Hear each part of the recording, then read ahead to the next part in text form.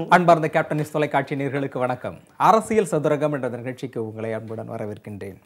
தமிழகத்தில் சபரிமலை பிரச்சனை மீட்டு பிரச்சனை என்று தொடர்ச்சியாக பல்வேறு பிரச்சனைகள் புதிது புதிதாக வெடித்த வண்ணம் இருக்கிறது.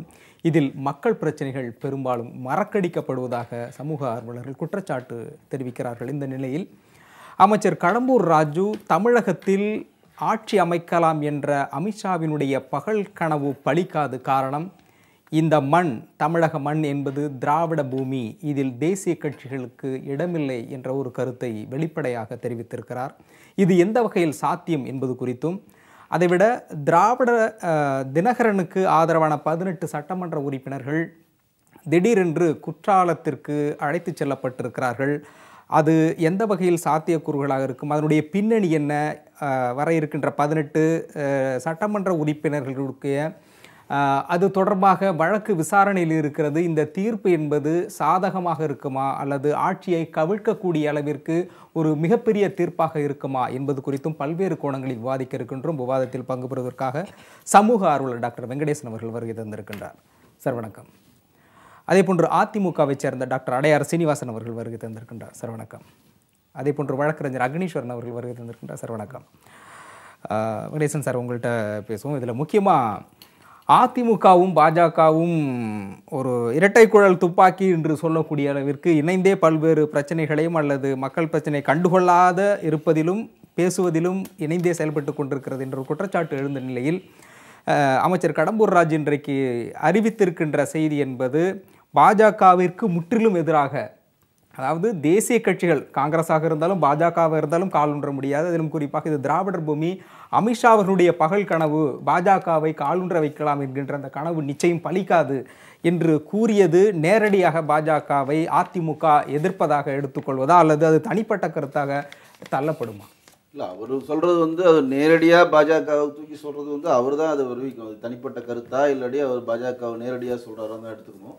பட் இந்த கருத்துக்கு வந்து முக்கியத்துவம் தரது தேவையில்லைன்னு தான் என்னோட கணிப்பு. ஏன்னா அவர் வந்து இப்போ அதிமுகனா எங்களுக்கு கண்ணுக்கு தெரியுது ஜெயலலிதா அம்மையார் எம்ஜிஆர் தான். இவரெல்லாம் யாருன்னே எங்களுக்கு தெரியாது. எடப்பாடி சொன்னாலும் நீங்க ஏத்துக்க இவர் இவர் ஒரு ஆ இவர் வந்து ஒரு அமைச்சர்னு சொல்லி திடீர்னு சொல்றீங்கன்னா அவருக்கு ஒரு நல்ல ஒரு அருமையான பேர் கூட வச்சிருக்கீங்க. தெர்மாக்குள் அமைச்சர்னு சொல்லிட்டு பெரிய உலக மகா விஞ்ஞானிலாம் வச்சுட்டு அவர் ஒரு பெரிய ஒரு கா நகைச்சுவை நாயகராக தான் இன்னைக்கு தமிழ்நாட்டு மக்கள் பார்க்கறாங்க தவிர அவருடைய பேச்சுக்கு இவ்வளவு பெரிய முக்கியத்துவம் தர வேண்டிய தேவையில்லை. ஒண்ணு. அவர் செல்லூர் வந்து செல்லூர் ராஜு ஒரு கடம்பூர் ராஜு. கடம்பூர் ராஜு செல்லூர் ராஜு எல்லா ராஜுவும் தான் சொல்கிறேன் எல்லா ராஜுவும் தான் நான் சொல்கிறேன் ரெண்டாவது என்னோட கணிப்பு என்னென்னா இங்கே கால் ஊன்ற முடியாதுன்னு சொல்கிறதுக்கு இவங்களுக்கு என்ன யார் சொன்னது இவங்க இவங்களுக்கு யார் சொன்னது ஆல்ரெடி நம்ம கர்நாடகா வரை வந்துட்டோம். இப்போ கேரளால வர போறோம் ஆல்ரெடி தமிழ்நாட்டுல இப்போ மிகப்பெரிய கேரளாவுல லெவலில் எப்படி வர போறீங்க வர வருவோம். கண்டிப்பா வரும்.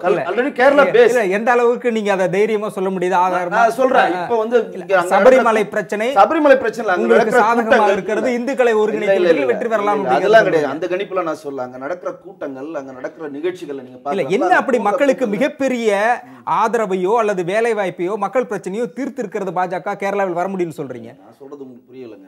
இது வந்து இப்போ வந்து கேரளால வருதுன்றது இப்போ ஓட்டு வங்கி வச்சு நான் சொல்லல. சரி. இப்ப நடக்கிற கூட்டங்கள் அங்க நடக்கிற ஆர்எஸ்எஸ் ஆகட்டும் மத்த ஆர்எஸ்எஸ் இப்போது என்ன செய்து கொண்டிருக்கிறது?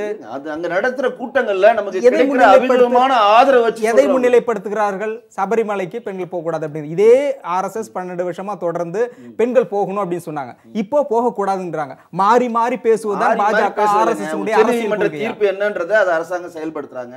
அதன் மேல் மறுசீர்வாய் மனு போட்டு அது என்ன தீர்ப்புன்றதை உள்ள கொண்டு போங்கன்னு மாநில அரசாங்கம் கேட்கறாங்க அவங்க கேட்கல. ஒட்டுமொத்த மக்களும் கூடுறாங்க நாங்க போகக்கூடாதுன்னு சொல்றோம். மக்கள் தாங்க மக்கள் தீர்ப்பு தாங்க மகேசன் தீர்ப்பு.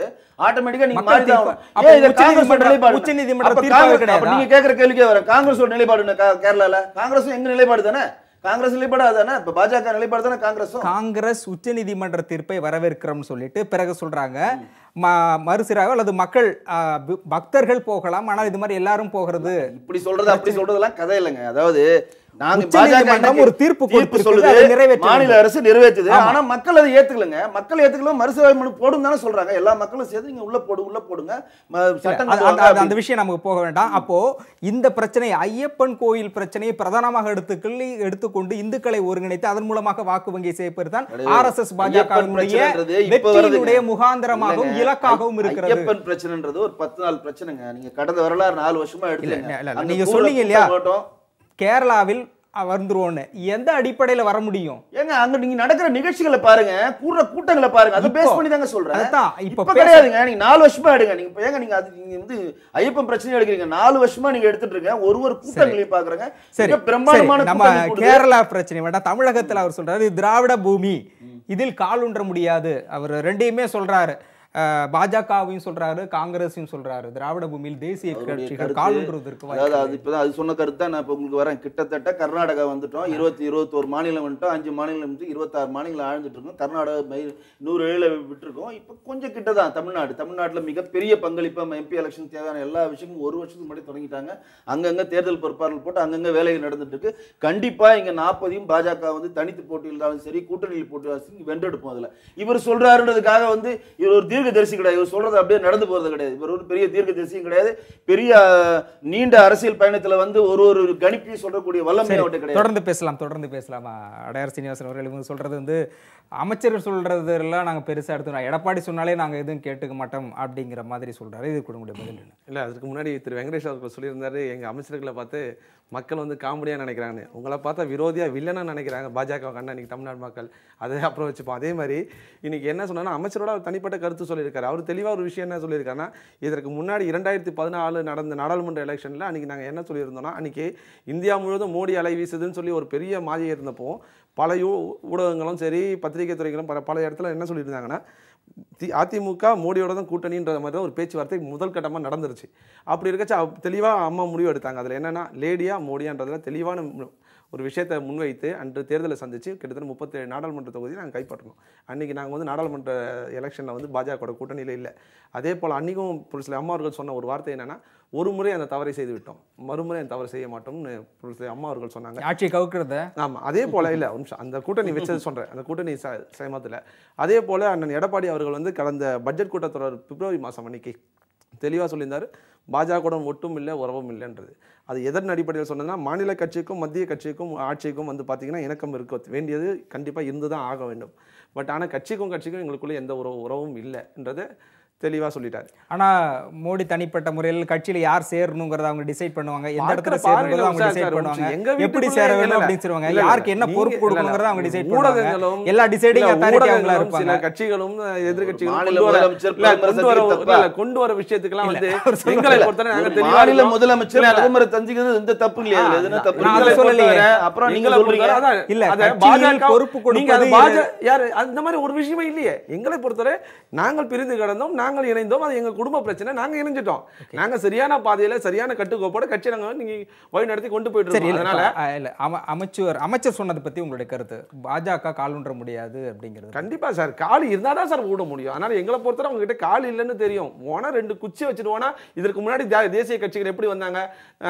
திமுக முதுகுல ஏறி நீ பயணம் செஞ்சுட்டு இருக்காங்க காங்கிரஸ். அதே போல இதற்கு முன்னாடி பாஜகவோட முதுகுல திமுகவோட முதுகுல தான் சவாரி செஞ்சாங்க. அது போல ஏதாவது ஒரு ஊன்றுகோலா இருந்தோன்னா வரலாமே தவிர்த்து நேரடியாக கால் ஊன கால் இல்லை சார். ஓகே தொடர்ந்து பேசலாம் சார். இது குறித்து உங்களுடைய கருத்துக்கள் என்ன? அமைச்சருடைய பேச்சு என்பதும் பாஜக அதிமுக என்பது எதிரி போன்ற ஒரு தோற்றத்தை உருவாக்குகிறார்களா? உண்மையில் இணைந்தே செயல்படுகிறார்களா? இல்லை மக்களை திசை திருப்பதற்காக அமைச்சருடைய பேச்சு இப்படி இருக்கிறதா? இல்லை இல்லை. அம்மா அமைச்சர் பெருமக்கள் பேசுகிற வார்த்தைகள் எல்லாம் நாட்டு மக்களை வளர்ச்சி பாதையில் கொண்டு செல்வதாக எனக்கு தெரியவில்லை. ஏதோ ஒரு நாட்களை நகர்த்துவதற்காக நாம் அதிகாரத்தில் இருக்கிறோம். ஏதோ மைக் பத்திரிகையாளர் கேள்வி கேட்குறாங்க. ரெண்டு வார்த்தை அதை பேசணும். அதனால் பின்விளைவுகள் என்ன? அதனால் என்ன பாரம்பரியத்தில் நாம் வாழ்கிறோம்? அதெல்லாம் அவங்களுக்கு தெரியாது. ஏதோ பேசிக்கிட்டு இருக்காங்க. அவ்வளோதான் ஆனால் சர்வைல் ஆஃப் ஃபிட்டஸ்ட் என்று சொல்லக்கூடிய எந்த நிலை இருந்தாலும் அந்த நிலைக்கு தகுதியானவர்கள் தான் ஒரு ஆட்சி படத்துக்கு வர முடியும். ஆனால் பவர் பாலிடிக்ஸ் செய்து கொண்டிருந்த புரட்சி தலைவி அம்மா அவர்கள் மாண்டு போனதற்கு பிறகு இன்னைக்கு வெறும் பாலிடிக்ஸ் மட்டும் தான் நடந்துட்டு இருக்கு பவரே இல்லாத பாலிடிக்ஸ் தான் தமிழ்நாட்டில் நடந்து power உங்கள் பார்வையில் அப்படி இருக்குதுன்னு சொல்லுங்க. பவர் எங்க இருக்கு? இல்ல இல்ல எங்கள் பார்வை இல்ல. எல்லாருடைய பார்வையும் அப்படிதான் இருக்குது. உங்க பார்வைகள்ல அதாவது- கோளாறு இருக்குது. அதாவது கவர்னரே வல்ல வல்ல போடல போடலன்னு சொல்லிங்க போட்ட கவர்னர் உங்க ரெண்டு பேத்தையும் சேர்த்து வச்சுட்டு போனாரு. அந்த ஆட்சியில வந்து ஊழல் ஆட்சின்னு சொல்லிட்டு இருந்த ஓபிஎஸ் தான் முதல்ல ரெண்டு பேத்தையும் இல்ல, சேர்த்து இல்ல, இல்ல, வச்சாங்க. தெளிவா ஒரு முதல்வர், எப்படி? ஒரு துணை முதல்வர் பதவி எடுத்துக்கிறாரு, இணைக்கிறாரு. இதுல என்னங்க இருக்குது? உங்க எங்க பொறுத்தளவில்? இன்றைய பொறுத்தளவில் அதை இவங்க ஆட்சி அமைக்க முடியாது அவங்க ஆட்சி அமைக்க முடியாது அப்படின்னு சொல்லி பார்த்தால் இந்த நாட்டில் மன்னராட்சியே நடந்திருக்கும். ஆக வெள்ளைக்காரன் 200 வருஷம் ஆண்டா போர்ச்சுகீஸ்கார ஆண்டா இந்தியாவில் தமிழ்நாட்டில் பிராமணர் அல்லாதார் சங்கம் தென்னிந்திய நல உரிமை சங்கம் அப்புறம் வந்து திராவிடர் கழகம் அண்ணா திராவிட முன்னேற்ற கழகம் எல்லாம் வந்துச்சு. ஆனாலும் கூட ஒரு கட்சி நல்லாட்சி நடத்திருந்தால் இத்தனை ஆட்சி கட்சிகள் வந்திருக்குமா? அப்போ திமுக அதிமுக நல்லாட்சி நடத்தலங்கிறீங்க. எல்லா ஆட்சி இன்றைய நிலையை தான் ஆட்சி பத்தி பேசுறோம். இல்ல. நடத்தல. அம்மா மக்கள் முன்னேற்ற கழகத்தோட ஆட்சி ஆட்சி நல்லா. சீனிவாசன் சாருக்கே பதில் சொல்லுவோம். அம்மா ஆட்சி அம்மா ஆட்சி ஆட்சி ஆட்சி. எனக்கு யாரு கட்சிக்கும் தேவையில்லை. ஆனாலும் கூட இப்போ அம்மா ஆட்சின்னு சொல்றீங்கல்ல அம்மாவுக்கு போட்ட வாக்குகள் தானே? அம்மா இறந்துட்டாங்கல்ல. பெரும்பான்மையை நிரூபிக்கலாம்ல? ஏங்க பெரும்பான்மை நிரூபிச்சுட்டாங்க ஆட்சியில இருந்தா. மக்கள்கிட்ட நம்பிக்கை இருந்தா இது அம்மாவுக்கு போட்ட ஓட்டுங்க அம்மா இறந்துட்டாங்க. ஆகவே இந்த அரசாங்கம் இறந்ததாகவே கருதப்படும் என்று சொல்லி போயிருக்கலாம்ல? அம்மாவோட அரசு நிலைக்க தேர்தல் சந்திக்கணுங்கிறீங்களா? எது? எப்படி நான் அம்மாவுக்கு பதிலா நாங்க வரோம்னு எப்படி சொல்லணுங்கிறீங்க? எப்படி சொல்லணுமா? சட்டமன்ற உறுப்பினர்களுடைய மெஜாரிட்டி வச்சு தான் வழக்கமா பண்ணுவாங்க. அந்த சட்டத்தினுடைய அடிப்படையில் அப்படிதான் ஆட்சி நடக்குது. அப்படிதான் நடந்துகிட்டு இருக்குது. இல்ல அப்படி நடக்கல. அப்படி நடக்கல கட்சி- ஆட்சி அப்படி கரெக்டா நடக்குதுன்னு இப்ப எப்படி அன்னைக்கு எப்ப ஆட்சி நடக்குது? என்னன்றது மக்களுக்கு தெரியும். சட்டமன்ற உறுப்பினர்களை அவங்க ஜெயிச்சவொன்னே அங்க தேலும்பான்னு ஓடுதாங்க.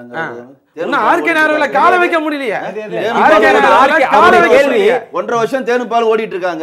தினகரன் ஆர்கே நகரில் வெற்றி பெற்ற உடனே பல்வேறு வாக்குறுதி கொடுத்த எல்லாருக்கும் வீடு கொடுக்குறேன்னு சொன்னாரு. பில்டிங் கட்டி வந்த உடனே இந்தியா பூரா தேனாரா ஓடிச்சா? இல்ல உங்கள் கேள்விக்கு பதில் எப்போது வந்தார்?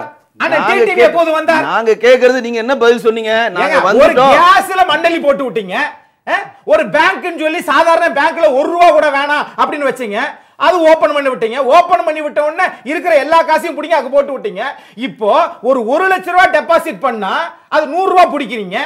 ஆக நான் சம்பாதிப்பதற்கு எனக்கு வழி தேடி தரவில்லை இல்ல, இல்ல, போடல, இல்ல, தவறான இல்ல, இல்ல, இல்ல, கருத்து. பிடிச்சிருக்கா என்ன இல்லையா? பண்ணிட்டு அப்படியே ரீஃபண்ட் கொடுக்குறோம்? சப்சிடியோட ரீஃபண்ட் எப்ப கொடுக்குறீங்க?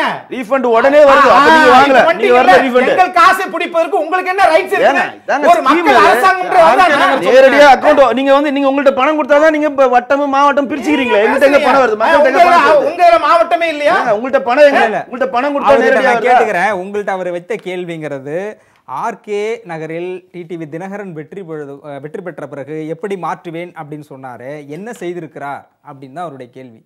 ஒரு விஷயம் சொல்ல சொல்லுங்க. என்னது? ஆர்கே நகர்ல டிடிவி தினகரன் வெற்றி பெற்ற பிறகு என்ன செய்திருக்கிறார்? தன்னோட சமூகத்தை சார்ந்த கட்சியை வளர்க்க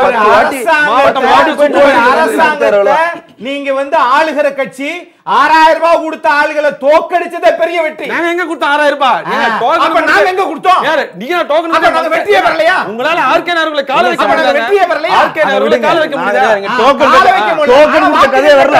இல்ல இல்ல கேள்வி கொடுத்த ஒரு நிமிஷம், வரல.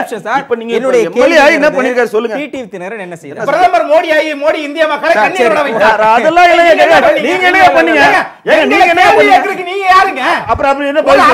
நீங்க என்ன பண்ணீங்க மக்கள் மக்கள் கண்ணீர் வடிச்சிட்டாங்க வெற்றி சொல்லுங்க. என்ன கண்ணீர் ஓட்டு போட்டு நாங்கள் வெற்றி பெற்றுக்கிறோம்? எங்க சின்னத்தை உடைக்கிறது நீங்க. சதி செயல் செய்தீர்கள் ஓட்டு போட்டு வெற்றி பெற்றாங்க அவர் சொல்றது டிடிவி தினகரன் ஜெயிச்சதே பெரிய வெற்றி தாங்க பெரிய விஷயம். அப்ப எல்லாருமே ஜெயிச்சு உங்களுக்கு என்ன செய்யணும் எல்லாருமே ஜெயிச்சு பொய்யான வழக்கை போட்டார் எல்லாருமே ஜெயிச்சு ஜெயிச்சு ஒரு- ஆட்சி அண்ணா, ஒரு நிமிஷம். வெற்றி பெற்றது டிடிவி தினகரன் எல்லாருமே ஜெயிச்சு ஜெயிச்சு நீங்க வீட்டுல உட்கார்றதுக்கு அவங்க மக்கள் தேர்ந்தெடுத்து சட்டசபைக்கு அனுப்புறாங்க. இல்ல, தொகுதிக்கு. ஏதாவது செய்யுங்க. போறதுக்கு. உங்க தொகுதிக்கு ஏதாவது செய்யுங்க. உங்க தொகுதிக்கு ஐயா, எதுவுமே மோடி அவர்கள் செய்யாம foreign போறதுக்கு ஒரு நிமிஷம் இருங்க. நீங்க உங்க தொகுதிக்கு எதுவுமே செய்யாம நாங்க வந்தா இதை பண்றோம் அதை பண்றோம் இல்ல சார் அ- அவருடைய கேள்வியும் அதே திரும்ப இருக்குது. கடம்பூர் ராஜ் அவர்களுடைய பின்னணியும் இருக்கிறது நிறைய விஷயங்கள் பேசக்கூடியதுல. முக்கியமா பாஜக தேர்தல் வாக்குறுதிகளாக ரெண்டாயிரத்தி பதினாலு கொடுத்தது என்னென்ன நிறைவேற்றினார்கள் அப்படிங்கிற ஒரு கேள்வி? காஷ்மீர் உள்ளாட்சி தேர்தல்ல மிக பெரும்பான்மை ஒரு மிக பெரு- நீங்க நீங்க வந்து ஒரு. இருபத்தோரு மாநிலம் நாங்க ஆள்றோம் இன்னும். அஞ்சு மாநிலம் ஆதரவு. நடந்தது பத்து? நாள் முன்னாடி நடந்த உள்ளாட்சி குடியரசுத் மிகப்பெரிய வெற்றி பெற்றிருக்காங்க அது சாட்சி இல்லையா காஷ்மீர் உள்ளாட்சி தேர்தல் வெற்றி பெற்ற சாட்சி இல்லையா? இந்தியாவே வெற்றி. பெற்றுச்சு. நீங்க வந்து இப்ப நான் கர்நாடக இல்ல. இந்திய அளவில் பேசுறத? தமிழகத்துல பேசும் தமிழகத்துல பேசக்கூடியதுல இல்லைங்க, இல்ல, மத்திய அரசினுடைய கட்டுப்பாட்டில் இருக்கக்கூடிய பல்வேறு திட்டங்கள் எப்படி நடக்கிறதுல? கீழடி அகழ்வாராய்ச்சி அப்படிங்கிறது சிந்து சமவெளி நாகரிகத்தை விட பல நூறு ஆண்டுகள் அதிகமா முற்பட்டது இருக்கு இது மூன்றாம் கட்டத்தை தாண்டி நான்காம் கட்டத்திற்கு நகரவே இல்லை. பல போராட்டங்களுக்கு பிறகுதான் சென்று கொண்டிருக்கிறது. ராமர் கோவிலினுடைய ஆராய்ச்சிக்காகவோ ஒதுக்குவதற்காகவும் அங்கே வந்து அருங்காட்சியகம் அமைப்பதற்காக நாலாயிரத்தி நானூற்றி எழுபது கோடி ரூபாய் கிட்டத்தட்ட ஒதுக்குகிற மத்திய அரசு ஒரு ஆண்டுக்கு கீழடி அகழ்வாராய்ச்சி ஒரு லட்சம் ரூபாய் மட்டுமே ஒதுக்குகிறது அதாவது ஒரு ஒரு கீழே ஒவ்வொரு ஆராய்ச்சிக்கும் இவ்வளவுதான் ஃபண்ட் ஒதுக்கணும்னு தொல்லியல் துறை நிர்ணயம் பண்றாங்க? இல்ல இல்ல நான் சொல்றேன் மூணாவது மூணாவது ராமர் கோயில், அரசு. அருங்காட்சியகத்திற்கு நானூத்தி எண்பத்தி ஏழு கோடி ரூபாய் ஒதுக்கக்கூடிய மத்திய. அரசு இது தேசிய- அரசியலையும் மாநில அரசியலையும் நீங்க ஒப்பிட முடியாது இல்ல தேசிய. கீழடி கீழடி அது அகழ்வாராய்ச்சிங்கிறது தேசிய அகழ்வாராய்ச்சி அது மாநில அரசு மத்திய அரசு ஒரே வருது. இல்ல நான். இந்தியாவினுடைய மிக பழமையான நாகரிகம் சிந்து சமவெளி நாகரிகம் அதை விட பல நூறு ஆண்டுகள் முற்பட்டது அப்படிங்கும்போது சோழ நாகரிகம். இந்தியாவினுடைய இல்ல இந்தியாவினுடைய உண்மையான நாகரிகத்தையும் கலாச்சாரத்தையும் பின்பற்றக்கூடிய பறைசாற்றக்கூடியதுதான் கீழடி நாகரிகம் வைகை ஆற்று வந்து எந்தெந்த படிவங்கள் போதோ அந்த மாநிலத்தை ஒட்டுறது சிவகங்கை புதுக்கோட்டை அந்த மாதிரி சரி அப்ப இதுக்கு முக்கியத்துவம். கொடுக்காமல் அது- மூடி மறைக்கின்ற வேலையை பாஜக செய்து கொடுக்கல. மூன்றாம் கட்ட ஆராய்ச்சி வந்து தமிழ்நாடு பு- தொல்லியல் துறை எடுத்திருக்கு. தமிழ்நாடு தொல்லியல் துறை தான் பண்ணுது ரெண்டு கட்ட ஆராய்ச்சி தான் மத்திய அரசு பண்ணாங்க. அதுக்குள்ளேயே வந்து நிதி?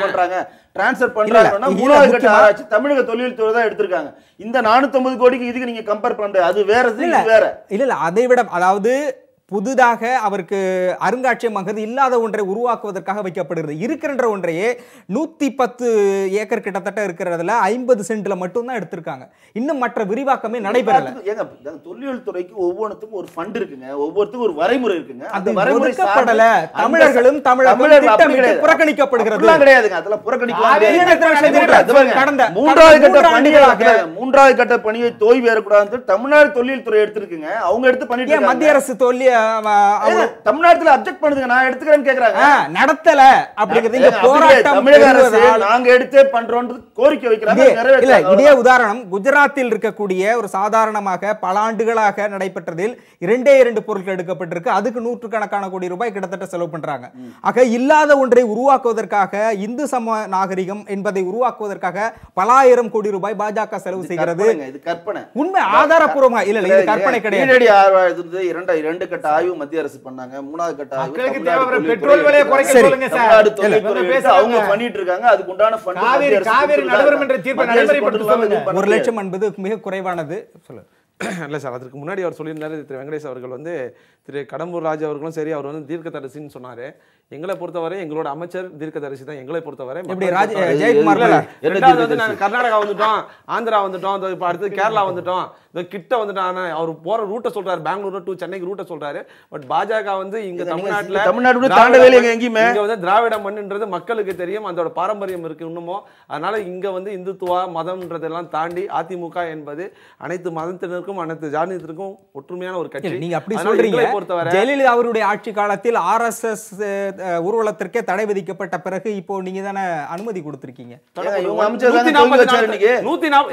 நாலு நாலு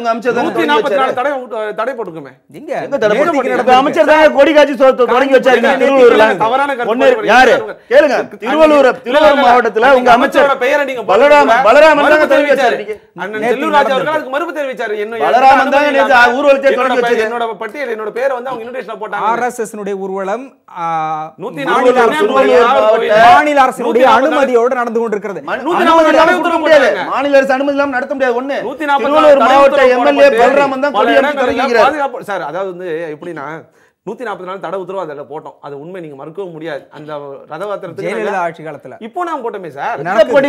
இப்போ போட்டோமே சார். சார் நாகர்கோயில ஒரு சின்ன கலவரம் ஒண்ணு உண்டான உடனே உடனே என்ன பண்ண நூத்தி நாற்பது தடை உத்தரவு போட்டு தானே? நாகர்கோவில் அந்த கலவரத்தின் போது போட்டீங்க. ஆமா அதுக்கப்புறம் எங்க? கிட்ட ரதம் ரதமா போச்சு அங்க. ரதம் பாருங்க நான் இப்ப சொல்றேன் நேத்துக்கு நடந்தது. கருத்து சார் அது. எங்களை பொறுத்தவரை ரதம்ன்றது அந்த. ஊர்வலத்தோடு நடக்கணுமே தவிர்த்து ஊர்வலமா நடந்துச்சாங்க கிட்டத்தட்ட நூத்தி நாற்பது ஹை ஸ்பீட்ல போன ரதம் சார் அது. அது எங்க நீங்க- நீங்க ரதமாவ போச்சு அது அதற்கும் அதிமுக வந்து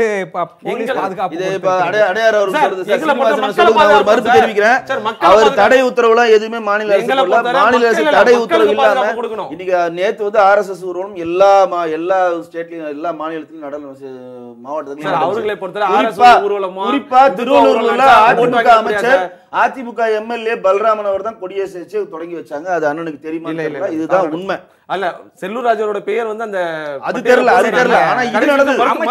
தீர்க்க தரிசனமா பேசுறாங்க அப்படின்னீங்க ஜெயக்குமார் பேசுறதும் தீர்க்க தரிசனமா இல்ல சார் சார் எங்களை பொறுத்தவரை எங்க அமைச்சர்.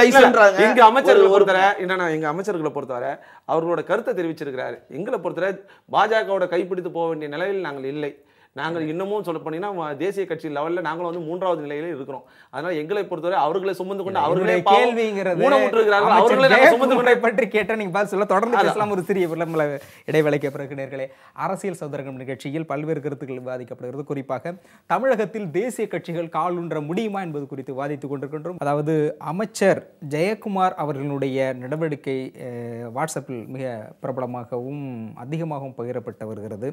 அது குறித்து உங்களுடைய கருத்து. அதற்கு பற்றி முழுசா விவ- விவரமே வந்து ஆறரை மணிக்கு திரு ஜெயக்குமார் அண்ணன் ஜெயக்குமார் அவர்கள் தெளிவா சொல்லிட்டாரு. அது தனிப்பட்ட கருத்து. அதை பத்தி நம்ம எதுவும் பேச முடியாது. நீங்க அரசியல் ரீதியான கேள்விகளுக்கு அதுக்கு நான் பதில் கொடுக்கறது தயாரா இருக்கேன். இல்ல ஒரு அரசியலுடைய தலைமை பண்பு அப்படிங்கிறது உண்மையா இல்லையா நம்ம தனி மனித. ஒழுக்கம் சார்ந்ததுதான் இல்ல, அரசியல் உண்மையா இல்லையான்னு சொல்லி இன்னைக்கு பாத்தீங்கன்னா டெக்னாலஜி எவ்வளவு முன்னேறிச்சு திரு ஆசை தம்பி போலவே போட்டு நாலு ஆசை தம்பி லைனா உட்கார வைக்க அளவுக்கு கிராபிக்ஸ் வந்துடுச்சு. அக்னீஸ்வரன் அவர்களை வந்து இப்ப ஒரு பெரிய ஐஸ்வர்யா ராயா கூட மாத்த வச்சு. இல்ல இல்ல அந்த மாதிரி ஒரு டெக்னாலஜிஸ் இன்னைக்கு வளர்ந்துருக்கிற காலத்துல வந்து நம்ம இருக்கோம். அதே மாதிரி ஏதோ சர்டிஃபிகேட் வந்திருக்குன்னு சொன்னாங்க. இன்னைக்கு டூப்ளிகேட் சர்டிஃபிகேட் எவ்வளவு எடுக்கலாம் சார் இன்னைக்கு எது எதுக்கும் டூப்ளிகேட் வராங்க ஒரு தனிப்பட்ட. போகலாம் அப்படிங்கிறத அடிப்படையில் அதை போக வேண்டாம் பட் இருந்தாலும் பதினெட்டு எம்எல்ஏக்கள் தகுதி நீக்கம்ங்கிறது தமிழக அரசியல் மிகப்பெரிய மாற்றத்தை கொண்டு வரும் அதனால தான் இவங்க எம்எல்ஏக்கள் எழுத்துருவாங்க அப்படிங்கிறத பதினெட்டு எம்எல்ஏக்களும் குற்றாலத்துக்கு கூட்டிகிட்டு போயிருக்கிறதா சொல்கிறாங்களே அது என்னன்னு தெரியல சார். எல்லாமே அந்த குற்றாலம் கூவத்தூர் அந்த மாதிரி கூல வர்றதே செலக்ட் பண்ணுறது தினகரன் அவர்கள். எங்களை பொறுத்தவரை என்னன்னா பதினெட்டு சட்டமன்ற உறுப்பினர்களோட தீர்ப்பு வந்துருச்சுனாலுமே எங்களுக்கு தெரிஞ்ச அரசியலில் மாற்றம் வரும். ஏன்னா கண்டிப்பா எங்களுக்கு கூடுதலாக இன்னொரு பதினேழு பதினாறு எம்எல்ஏக்கள் கூட அதிமுக பக்கம் வரதுக்கான வாய்ப்புகள் இருக்கிறதுனால டெஃபினட்டா அதுக்கான மாற்றம் யார். இவங்களே உங்க பக்கம் வந்துருவாங்கன்றீங்களா? கண்டிப்பா வந்துருவாங்க சார். மனம் சார் அவர்களும் யார் சார்? அவங்களும் அதிமுக பிள்ளைகள் தான். அம்மாவால் வளர்க்க வளர்க்கப்பட்ட அம்மாவால் வாய்ப்பு கொடுக்கப்பட்ட அம்மாவால் சட்டமன்ற உறுப்பினர் ஆக்கப்பட்ட பிள்ளைகள். இன்று ஏதோ சும்மா பங்காளி சண்டையில போய் நிக்கிறாங்க. அங்க போய் புரிஞ்சினாங்க சார். ஏன்னா நம்ம நம்பி பதினெட்டு இல்ல, பதினெட்டு பேர் பதினெட்டு பேர் சட்டமன்ற உறுப்பினரோட பதவியை பறிச்சு தான் மட்டும் சட்டமன்ற உறுப்பினரை இன்னைக்கு யாருக்கு அவருக்குள்ள போயிட்டாரு. அதனால அவங்க தெரிஞ்சுனாங்க எங்களெல்லாம் பாவி பிடிக்க வச்சு நீ போட்டி அது தெளிவாக இருக்கிறார்கள். தெளிவாக இருக்கிறார்கள். அந்த பதினெட்டு சட்டமன்ற உறுப்பினர்கள் எங்கடா நாளைக்கு தீர்ப்பு வந்தவொடனே அப்படியே உங்களை அடையாறுல இருந்து கிரீன்வேஸ் சாலைக்கு சென்று விடுவார்களோ அந்த ஒன்று நம்பல. உங்களை நம்பல. ஓபிஎஸ்சி உங்ககிட்ட விசுவாசம் நான் கேக்குறேன் உங்ககிட்ட விசுவாசமா தானே இருக்கிறாங்க? ஏன் கூட்டு போய் ஒளிச்சு வைக்கணும்? தாராளமா ஃப்ரீயா விடுங்க அவுத்து சரி விட்டு ஓகே சார் உங்களுக்கு சட்டமன்ற உறுப்பினர் நம்பிக்கை இல்லாம எதுக்கு நீங்க குற்றாலத்துக்கு குளிக்க கூப்பிட்டு போயிருக்கீங்கன்னு கேக்குறாரு. சார் இதெல்லாம் வந்து எப்படி அவர் பர்சனல் கொஸ்டினை பதில் சொல்ல மாட்டாரோ? அதுவும் பர்சனல் இது அரசியல் இது அரசியல். இது அரசியல்லாம் கிடையாது. இல்ல இல்ல அது இது. எப்பொழுது- சட்டமன்ற உறுப்பினர். சார் அவர் தான் சொன்னாரு நாங்க ஆன்மீக பயணமா போடுறோம்னு சொல்றாரு. இல்ல இல்ல. அது எப்படி நீங்க வந்து அரசியல் ஆக்குறீங்க? ஆன்மீக அரசியல் அது. சொல்லும் போது அதாவது அங்க கூவத்தூர் இங்க குற்றாலம் அப்படின்னாரு. எப்படி இதேல கூட்டிட்டு போறீங்க அப்படின்னாரு. அங்க கூவத்தூர்ல கூட்டி போய் தான் ஒரு ஆளை முதலமைச்சராக்கி நாங்க படுற பாடு. அதே போல இந்த பதினெட்டு சட்டமன்ற கூட்டிட்டு போய் படும் பாடு போடுவீங்க. அவதிப்பட்டுக்கிட்டு இருக்கோம். அவங்க ஏன் நாங்க ஏன் பாடுபடுறோம்? நீங்க அவங்கள தான் எங்களோடு இருக்க கூடாது சட்டமன்ற உறுப்பினர்கள். அவர்கள் சட்டமன்ற உறுப்பினர்கள் குழந்தைகள் இல்ல. நல்லா தெரிஞ்சுங்க. நீங்க உண்மையாலுமே பதினெட்டு சட்டமன்ற உறுப்பினர்கள் நீங்க? பத்திரிகையில சந்திப்பீங்க அப்ப- ஜெயக்குமார் சார்? சட்டமன்ற உறுப்பினர் தானே? இல்ல இல்ல. அப்ப ஜெயக்குமார் சார் தனிப்பட்ட உறுப்பினர் ஒரு தனிப்பட்ட. விஷயத்தையும் எதையும் பேச முடியாது. குற்றாலத்துக்கு தானே போயிருக்கிறாங்க குவைத்துக்கு போலையே. அப்படியே ஏன் அப்படி. பயத்துக்கு கூட்டு போங்க. நான் என்ன சொல்றேன்? ஆரம்பிக்குது. போயிருக்கிறாங்க. ஆனா அதனால என்ன நடவடிக்கை வரும்? எங்க அதனால நாட்டு மக்களுக்கு எந்த இழப்பும் கிடையாது. ஒரு அரசு பொறுப்பில் இருந்து அவ்வளவு சட்டமன்ற உறுப்பினருக்கு மக்கள் பணியாற்ற முடியல அது வருத்தம் எம்எல்ஏ தேர்ந்தெடுத்தா இவங்க கரெக்டான சார். போயிட்டே இருப்பாங்க கரெக்டான வந்து, சார். மக்கள் ஏன்டா பணி இவங்க இல்லையா? தேர்ந்தெடுத்தேன்னு திருவ- தெருவ- எங்கள் தெருவுல மக்கள் திருவோடு எழுதிட்டு பணி இருப்பாங்க. ஆற்றுவதற்குத்தான் புரட்சி தலைவி அம்மா வாய்ப்பு கொடுத்தார்கள் நாங்களும் வெற்றி பெற்றோம் ஆற்ற வேண்டாம் என்று சொல்லி தான் சட்டமன்ற சபையை நாங்க இல்ல. நாங்க ஆற்ற வேணாம் சொல்லலையே தவறான கருத்து. நான் யார் எதற்காக ஆற்றுறது? என்ன எதற்காக நிக்கணும் எங்க போய் எதற்காக? நிக்கணும் அதை சொல்லுங்க எங்க போய் ஆற்றுறது? ஏங்க சட்டமன்ற உறுப்பினர் இல்ல இல்ல நீங்க தான் முதல்வரா தேர்ந்தெடுத்தீங்கன்னு சொன்னீங்க எல்லாம் ஓகே ரைட் விட்டுருங்க. இன்று? இல்ல நீங்க தான் சொல்றத சொல்றேன். அது அன்னைக்கு தேர்ந்தெடுத்தது வந்து சட்டமன்ற உறுப்பினர்கள். அன்னைக்கு சசிகலா அவர்கள் சட்டமன்ற உறுப்பினர் கிடையாது. நாடாளுமன்ற உறுப்பினர் கிடையாது. திரு தினகரன் அவர்கள். அன்னைக்கு பொழுது இருந்த சட்டமன்ற உறுப்பினர்கள் ஒன்று கூடி திரு எடப்பாடி பழனிசாமி அவர்களை தேர்ந்தெடுத்தார்கள். இந்தியாவே ஒண்ணா- படைக்கிறது அம்பானியும் அத்தானியும் தான். அதே மாதிரி. தான் அறிவு இருந்தா யாரு வேணாலும் எந்த வேலையும் செய்யலாம். நீங்க வந்து பாஜக எவ்வளவு நெருக்கடி கொடுத்த போதும் நூத்தி இருபத்தி ரெண்டு சட்டமன்ற உறுப்பினர்களை ஒரே இடத்துல வைக்க முடிஞ்சதில்ல. அந்த கட்ஸ் அந்த கில்லு உங்களுக்கு இருக்கா? யாரு.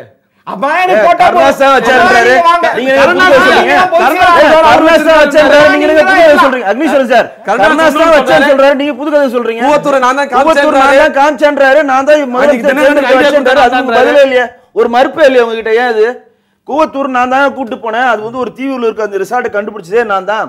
அங்க எல்லாரையும் பாதுகாத்தது நான் தான். இன்னைக்கு இருக்க முதலமைச்சர் ஆகட்டும் எல்லாரையும் தேர்ந்தெடுத்துக்கான உறுதுணை இருந்தது நான் தான்றத ஓப்பன் ஸ்டேட்மெண்டா கொடுத்த நீங்க மறுப்பு சொல்லதுக்கு? அவர் வேற விஷயமா இதுக்காக இது என்னடா இது? இல்ல, வீடியோ கூட சொன்னாரு. மீடியால மீடியால ஓப்பன் டாக்கா கொடுக்குறாருங்க அவரு. இல்ல, இல்ல, இல்ல. அவர் அவர் சொன்னது அவர் சொல்லியிருக்கலாம். ஆனா இத வந்து ஏன் முதல் நாளே சொல்லல? நான் தான் முதலமைச்சரை உருவாக்கி விட்டேன் நான் தான் கூவத்தூர் கொண்டு வந்தேன்னு சொல்லி ஏன் அன்னைக்கு கருணா சொல்லல? நீங்க தான் கேட்கணும். நான் இன்னைக்கு கேட்டது கூட நீங்க நீங்க தான் தான் கேட்கணும். கேட்கணும். இன்னைக்கு கூட இதெல்லாம் இருபத்தி இதுதான் இப்ப சட்டமன்ற ஆதரவு கருணாசன் தெரிவிக்கிறார். கொடுக்குறாங்க. ஏங்க, நீங்க மு க ஸ்டாலின் காலைல சந்திக்கிறாரு மதியம் தினகரனை சந்திக்கிறாருன்னா நீங்க தாங்க சொல்லணும். அவர் எடப்பாடியை அதான், சந்திக்கல அதைத்தான் இப்ப சொல்றேன். நீங்க வந்து இந்தியாவே உங்களை எதிர்பார்த்தது தெய்வமாய் நினைச்சாரு. மோடிய ஆனா மோடி பண்ற வேலை உங்க உங்க கதைக்கே வர கொஞ்சம் உங்க-. கதைக்கே வர இந்தியாவே நூத்தி பெட்ரோல் விலையை மீட்டு நூத்தி வந்தீங்களா? இருபத்தஞ்சு கோடி மக்கள் பதினஞ்சு எதிர்பார்த்தாங்க. லட்சம் பேங்க் போட்டீங்களா? நூத்தி இருபத்தஞ்சு கோடி மக்கள் இந்தியாவை ஆளிலே எதிர்பார்த்தாங்க. சுத்திட்டீங்க. நாலாயிரத்தி ஐநூறு கோடி ரூபாய்க்கு இவர் அமர்ந்து செல்வதற்கு ஒரு சொகுசு விமானம் அது வேற யாரும் போக கூடாது சொன்னதுக்கே நான் பதில் சொல்றேன் பத்து லட்சம் ரூபாய்க்கு. நூத்தி இருபத்தஞ்சு கோடி மக்களுடைய நம்பிக்கை ஒரு லட்சம் ரூபாய் பேங்க்ல போட்டா காசு எடுக்கிறீங்க. இன்னைக்கு நூத்தி பத்து கோடி மக்களை வந்து வென்றெடுத்து ஆண்டுட்டு இருக்கோம் நீங்க ஆறு கோடி மக்களை வந்து நாங்க உள்ள வரலன்றதுக்காக நீங்க சொல்றதெல்லாம் உண்மையாடாதுங்க அப்ப ஏங்க காஷ்மீர்ல ஜெயிக்க வச்சுக்கீங்களா காஷ்மீர்ல ஏங்க ஜெயிக்க வச்சுக்கீங்க.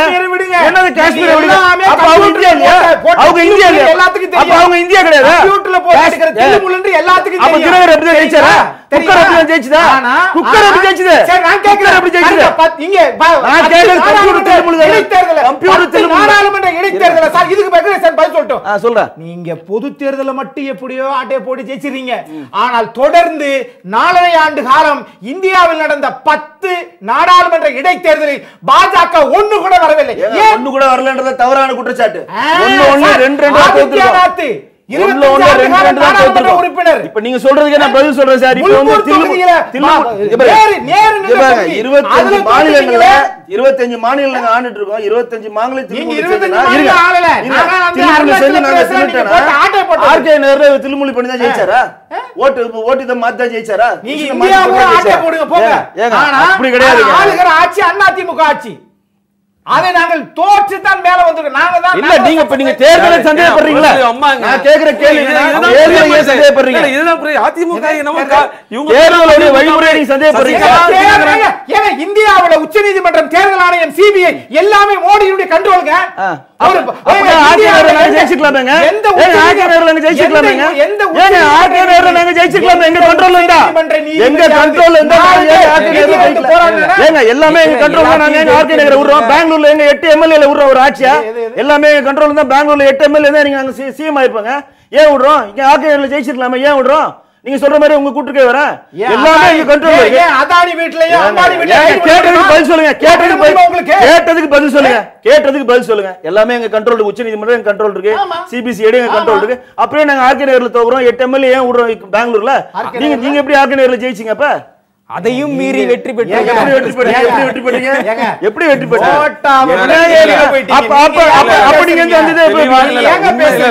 உண்மை என்னன்னா சார் ஆர்கே. நகர்ல மக்களை வந்து குழப்பி விட்டு எங்களோட புரட்சித்தலைவர் அம்மா அவர்கள் போட்டோம் எங்களோட பொதுச் செயலாளரோட புகைப்படத்தை போட்டு அங்க ஓட்டு போ வாங்கி யாரு வேட்பாளர்னே தெரியாத அளவுக்கு அந்த விஷயத்தை போடுங்க. இந்த- அங்கு வெற்றி எடுத்தது அதிமுக தான் சார். எங்களோட சிஎமோட எங்களோட மக்கள் புரட்சித்தலைவர் அம்மாவோட வெற்றி வாகை போட்டோ போட்டு சூடியிருக்கிறாங்க. என்ன? எங்க மக்கள் அடையார் சீனிவாசன் உள்ளாட்சி தேர்தல் நடத்த வேண்டியதானே நீங்க ஜெயிக்க ஏன், வேண்டியதானே? உள்ளாட்சி தேர்தல் பதினெட்டு நாங்க? தயாரா. நடத்து. நாங்க தீர்ப்பு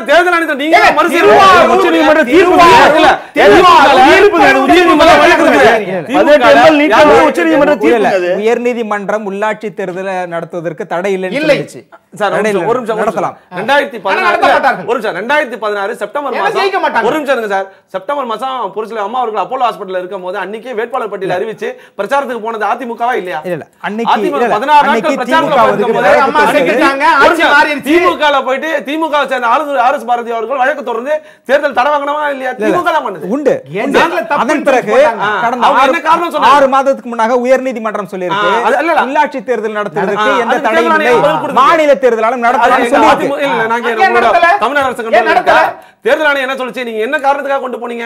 வழக்கு. நடத்தக்கூடாது சொல்லல. உள்ளாட்சி தேர்தல் மறுசீரமைப்பு தமிழ்நாடு மறுசீரமைப்பு வேணும். சொல்லல. இல்ல, மறுசீரமைப்பு. சொன்னா வழக்கு வழக்கு என்ன சக்க- என்ன சார்ந்த. வழக்கு இல்ல இல்ல அது ஏற்கனவே முடிவடைஞ்சு இல்ல மறுசீரமைப்பின் அடிப்படையில் எந்தெந்த தொகுதியில் யார் யார் அந்த இனம் குறித்த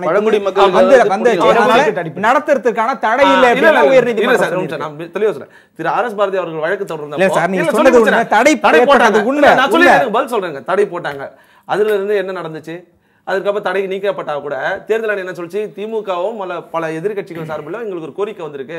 மறுசுழற்சி முறை கொண்டு வரணும்னு சொல்லிட்டு அதற்காக எங்களுக்கு அந்த பணியை நாங்கள் துவக்க போகிறோம் அதற்கு சிறிது காலம் காலதாமதம் ஆகும் சொல்லி எனக்கு உச்சநீதி உயர்நீதிமன்றத்தில் சொல்லிட்டோம்ல பதில்.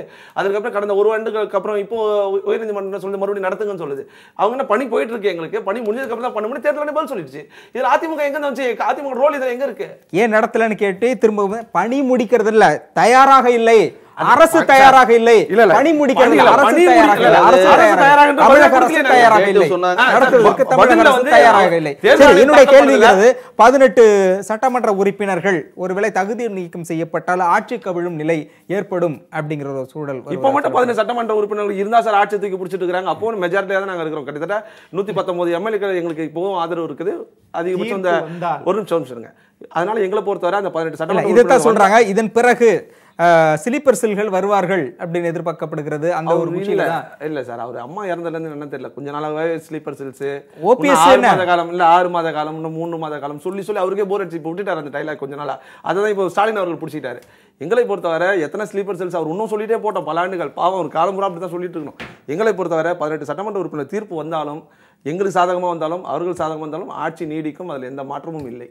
எங்களை பொறுத்தவரை அந்த பதினெட்டு சட்டமன்ற உறுப்பினர் தீர்ப்பு வந்ததினால் மீதி அதில் உள்ள பதிமூணு சட்டமன்ற குறைந்தபட்சம் இன்று வந்த தகவல் அடிப்படையில் பதிமூணு சட்டமன்ற உறுப்பினர்கள் எங்க அதிமுக பக்கம் வந்து விடுவார்களோ என்ற பயத்தின் காரணமாக கிட்டத்தட்ட பார்த்தீங்கன்னா அவங்க எல்லாரையும் கூட்டு கூட்டு போயிட்டு குற்றம் லாக் பண்ண பேசப்பட்டிருக்கிறது லாக் பண்ணிட்டார் சார் நான் பதிமூணு பேர் சொல்றீங்களே. விசுவாசம் இல்ல. எப்படி ஒரு சொல்றீங்க? எப்படி வருவாங்க? இல்ல, ஆசை தம்பி அவர்கள் எனக்கு விசுவாசம் ஒரு நிமிஷம். அதீத இல்ல, ஒரு நிமிஷம், ஒரு சொல்றேன். ஒரு நிமிஷம் கூர்க்குல இருக்கிற போது ஒரு டிஎஸ்பி தலைமையில நீங்க விரட்டி விரட்டி பிடிச்சீங்களே யார் பிடிச்சா? குற்றாலத்துல இயலாமையை காட்டுகிறது. கர்நாடகா ஆண்டு காங்கிரஸ் ஆட்சி. எங்களுக்கு எதிரான ஆட்சி தான் நாங்களா சொன்னோம். அங்க நீங்க பணத்தை போட்டு விளையாடி இருக்கீங்க அந்த மாநிலத்துல. அது இல்லாம அங்க தேர்தல் ஆட்சி. கேப்பீங்கல்ல? சார் எங்களை பொறுத்தவரை சார் உண்மையாலுமே சொல்ல போறேன். உண்மையா தினகரன் அவர்களுக்கு அந்த பதினெட்டு சட்டமன்ற உறுப்பினர்கள் உண்மையா அவருக்கு இருந்தாங்கன்னா ஓப்பனா திறந்து விடலாமே எது குற்றாலத்தெல்லாம் கூட்டு போய் ஒளிய இவ்வளவு நாள் திறந்தாங்க விட்டாங்க இதுல எங்க எங்க வச்சீங்க? இருக்குது? தீர்ப்பு வந்தா அவங்களுக்கு. பதினெட்டு சட்டமன்ற உறுப்பினர் மேல் நம்பிக்கை இருக்கு ஆனா உங்க மேல நம்பிக்கை இல்ல சார், குழந்தையா பொய்? வழக்கு பொய் வழக்கு போட்டு? மிரட்டி அவர்களை வந்து எதுக்கு நாங்க மிரட்டோம் சார் ஆதரவு மிரட்டுறது தெரிவிக்கிறதுக்காக. மிரட்டுறதுன்னா ஆளுநர் கிட்ட போயிட்டு எங்க அண்ணன் எடப்பாடி அரசு மேல நம்பிக்கை கொண்டு வந்தாங்கல்ல அப்போ நாங்க மிரட்டி கூட்டு வந்திருக்க முடியாதா ஆனா எங்களுக்கு எதிர்ப்பையும் மீறி நிக்கிறாங்க. யாரையும் மிரட்ட வேண்டிய அவசியம் இல்லை சார் அந்த நிலைமையில நாங்க. எங்களை பொறுத்தவரை- அம்மா. அவர்கள் எந்த ஒரு தைரியத்தோட திராணியோட ஆட்சி நடத்தினாரோ அதே தைரியத்தோட தான் இன்னைக்கு அண்ணன் எடப்பாடி அவர்கள் கொண்டு போறதால யாரையும் மிரட்டியோ உருட்டியோ எங்களுக்கு ஆட்சியை காப்பாற்ற வேண்டிய அவசியம் எங்களுக்கு இல்லை இல்ல முதல்ல ஓபிஎஸ் கூட இருப்பாரா யாரு? ஓபிஎஸ் சிபிஎஸ் ஓட சார் கொடுப்பாரு நேற்று நேற்று வரைக்கும் கூட காலையில என்ன சொல்லியிருக்காங்க ரெண்டு பேரும் அதான் பத்திரிகையாளர் பார்வையிலோ சில எதிர்க்கட்சிகளும் அவங்களோட பார்வையில தான் அப்படி தெரியுது. பார்வையிலுங்கிறது எங்களை பொறுத்தவரை எங்களை பொறுத்தவரை நாங்கள் ஒற்றுமையாக தான் இருக்கிறோம். நீங்களும் பார்க்க போறீங்க. அம்மா சொன்ன மாதிரி இன்னும் நூற்றாண்டு காலம் இல்லை இன்னும் இருநூறு ஆண்டு காலம் இருந்தாலும் அதிமுக இதே கட்டுக்கோப்போடும் திறம்பட செயல்படும். ஓகே. இந்த பதினெட்டு சட்டமன்ற உறுப்பினர்கள் அவர் சொல்றாரு பதிமூணு பேர் இந்த பக்கம் வந்துருவாங்க. ஆட்சி கவிழ்வதற்கான எந்த முகாந்திரமும் இல்லை அப்படிங்கிற சொல்றதை பத்தி. அவருடைய பெருந்தன்மை தான் காட்டுது பதினெட்டையும் வந்திருப்பாங்கன்னு சொல்லி சொல்லிருந்தா இன்னும் கொஞ்சம் நல்லா இருந்திருக்கும். இல்ல, மீதி சேர்க்க மாட்டோம். ஆனாலும் கூட ஆனா ஆனா பதிமூணு பேர்த்த சேர்த்துக்குருவாங்க. அது என்ன லாஜிக்னு எனக்கு புரியல. இல்ல, நீ பதிமூணு- பதினெட்டு பேர் தேவை, அங்க பதிமூணே போயிடலான்றீங்க. மோசமான நம்பர்னு தேவை தெரியும். ஆகவே இதுல என்ன ஒண்ணுன்னா தீர்ப்பு வந்ததற்கு பிறகுதான் தமிழ்நாட்டினுடைய சூழல் என்னவென்று தெரிய வரும் ஆனாலும் கூட எந்த எப்படிப்பட்ட தீர்ப்பு வந்தாலும் நாங்க ஆட்சி நடக்கும் அப்படிங்கிறார். அப்படிலாம் ஒண்ணும் கிடையாது. ஒரு சில தீர்ப்புகள் வந்து நாட்டினுடைய இந்தியாவினுடைய மக்களாட்சியை தூக்கலாம் அப்படி சொல்லி சொல்லி ஒன்றரை வருஷம் நாங்க ஓட்டிட்டு தானே சார் ஆனாலும் கூட- இருக்கிறோம். இல்ல, பார்த்துட்டு சரி, தானே சார், இருக்கிறீங்க. நீதிமன்றம் எடுக்கக்கூடிய நேரத்திற்கு கால அளவிற்கு நாங்களா பொறுப்பு. ஏன் அப்படி பாத்தீங்கன்னா நீ கவுண்டர் போடுறதுக்கு ஒரு வருஷ காலம் எடுத்துக்கிட்டாங்க சார். ஏன் அது மட்டும் ஆட்சி நல்லாட்சி நடத்துறேன்னு நினைப்பா? அம்மா ஆட்சி தொடர வேண்டும் என்ன சொல்லுதுன்னா, அம்மா. காலக்கெடுவை அரசியல் ஆட்சி அதிகாரத்தை வைத்துக்கொண்டு பாஜகவினுடைய நல்லுறவை வைத்துக்கொண்டு இந்த ஆட்சியை நகர்த்தி கொண்டு லஞ்சம் பெறுவது எப்படி? எல்லா துறைகளும் எப்படி எவ்வளவு தூரத்துக்கு பணத்தை சம்பாரிச்சு இதோட நம்ம காலி காலியாகி போயிருவோம். ஆகவே அடுத்து என்ன நிலைகள் வந்தாலும் சரி இதோட நம்ம ஆட்சியை முடித்துக் கொள்ளணும் ஆட்சி தான் நகர்ந்துகிட்டு இருக்கு தமிழ்நாட்டுல. ஆகவே இந்த நிலைப்பாடு தான் எல்லாருக்கும் இருக்குன்னு எல்லாத்துக்கும் தெரியும். ஒரு தேர்தலாவது நீங்க நடத்துறீங்களா? ஏன் திருமங்கலம் திருவாரூர் திருப்பரங்குன்றம் திருவாரூர் அந்த தேர்தலை நடத்த மாட்டேங்கிறீங்களே? இல்ல இல்ல இல்ல இல்ல. இல்ல, பதில் சொல்றேன். இப்போ இந்த தேர்தல் ஆணையம் அறிவிச்சதுல பாத்தீங்கன்னா கிட்டத்தட்ட ஐந்து மாநிலத்துக்கு அறிவிச்சிருக்காங்க புதுசா இப்ப அறிவிச்சதுல. இதுல கிட்டத்தட்ட பாக்கி இருக்கிற மத்த மாநிலத்திலேயும் உள்ள இடைத்தேர்தலோ கணக்கு பண்ணிட்டு பதிமூணு இடைத்தேர்தல் இருக்கு. இது வெறும் தமிழ்நாட்டுக்கு மட்டும் இடைத்தேர்தல் எடுக்கல. எந்த மாநிலத்திலையும் இடைத்தேர்தல் அவங்க எடுத்துக்கல. வெறும் ஸ்டேட் எலெக்ஷன் மட்டும் தான் எடுத்துக்கிறாங்க இடைத்தேர்தலுக்கான தனியா தான் வைக்க முடியும். அப்போ சேர்க்கும் போது இதை சேர்ப்பாங்க. தமிழக. அரசு மழையின் காரணமாக தள்ளி. தேர்தல் ஆணையம் ரெண்டு விஷயத்தை தெளிவா பதிவு பண்ணியிருக்காங்க. ஒண்ணு வந்து நூத்தி இருபத்தி ரெண்டு சென்டி மில்லிமீட்டர் மழை பெய்யும் திருவாரூர்ல. மாநில அரசு சொல்லிட்டாங்க பண்ண முடியாதுன்னு. இன்னொன்னு வந்து மாநில அரசு தேர்தல் மாநில மாநில அரசு அறிக்கை கொடுக்குது. மாநில அரசு அறிக்கை கொடுக்குது. மாநில அரசு அறிக்கை ரெண்டாவது வந்து வச்சு சொல்லு சரவணன் சரவணன் வந்து வழக்கு போட்டிருக்காரு நம்ம திருப்பூர் தேர்தலில் வந்து வழக்கு போட்டிருக்காரு. ஜெயலலிதா அம்மையார் கை- விரல். கையொப்பமிட்டது வந்து தவறு அவர் இல்லைன்னு சொல்லி வழக்கு ஒரு வழக்கு நீதிமன்றத்தில் இருக்கிறதுனால அது வந்து நீதிமன்ற அவமதிப்பாயிடும் அதோட தீர்ப்பு வந்து நடத்தலாம்னு சொல்லி வந்திருக்காங்க. இதுல வந்து மாநில அரசோ மத்திய அரசுக்குலாம் அந்த வேலைகளை தேர்தல் ஆணையம் இல்ல பல மாநிலத்துல இன்னமும் இடைத்தேர்தல் பெண்டிங்ல இருக்கு. நிறைய இறுதி கருத்தை உங்களுடைய கருத்தை சொல்லுங்க அதாவது இந்த தமிழகத்தினுடைய அரசியல் நிலைப்பாடு குறித்தும் அமைச்சருடைய பேச்சு குறித்தும் பதினெட்டு சட்டமன்ற பதினெட்டு சட்டமன்ற உறுப்பினர்கள் வந்து தினகரன் அஹ், ஆதரவாளர்களா அவங்க இருந்தாங்கன்னா அவரை வந்து ஒரு ஒரு ஊரா தினகரன் கொண்டு போக வேண்டிய அவசியம் கிடையாது.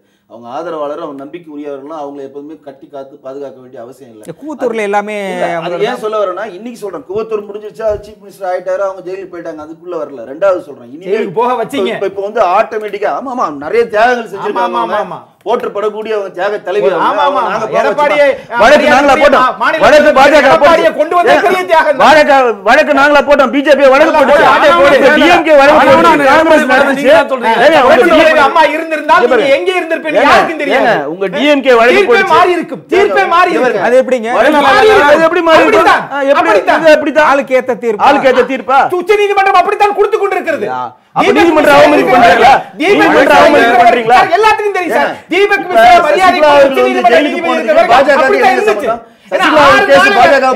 சார், ஒரு வாரத்துல என்ன பதினோரு தீர்ப்பா? சபரிமலை ஐயப்பன் அந்த தீர்ப்பு இந்த தீர்ப்பு எல்லாத்தையும் மொத்தமா மொத்தமா அடிச்சு தள்ளி போறீங்க ஏன் அவசரம்? சொல்றீங்களா அப்ப? அவசரம் ஏன் இல்ல தீர்ப்பு கூட கொடுக்க கூடாதுன்னு சட்டம் இருக்கா? இவ வந்துட்டீங்களா? அதே இது வந்து இதுக்கு மட்டும் அவசரமான தீர்ப்பு கொடுக்குறீங்க. அவசரமான தீர்ப்பு இந்த அவசரமான தீர்ப்பு ஏன் லேட்டான தீர்ப்பு? ஒரு விஷயம் புரிஞ்சுங்க பாஜக வந்து தினகரன் சசிகலா அம்மையாரோட ஜெயலலிதா அம்மையார் மாதிரி எதனா கேஸ் போட்டாங்களா?